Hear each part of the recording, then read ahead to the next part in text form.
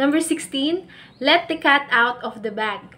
Example, he accidentally let the cat out of the bag and revealed the surprise party plan. Hindi niya sinasadyang na ilabas ang pusa sa bag at isiniwalat ang plano ng surprise party. Let the cat out of the bag It means to reveal a secret or information. Ito ay nangangahulugang ibunyag ang isang sikreto o impormasyon. Number 17, pull someone's leg. Example, don't believe him. He's just pulling your leg with that story.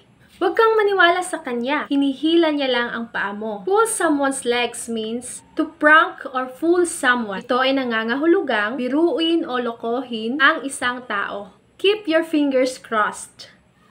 Keep your fingers crossed. Example, I have a job interview tomorrow.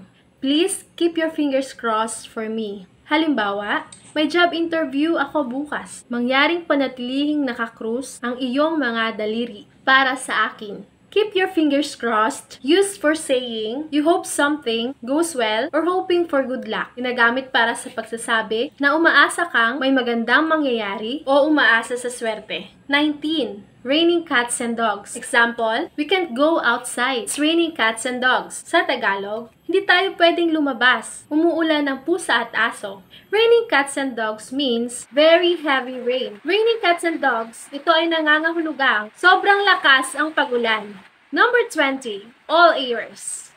All ears. Example, I'm all ears. Tell me about your exciting news. Sa Tagalog, nakikinig ako. Sabihin sa akin ang tungkol sa iyong kapanapanag na balita. All ears means willing to listen or interested in the story or information to be shared. All ears, ito ay nangangahulugang handa kang makinig o interesado sa kwento o impormasyon na ibabahagi.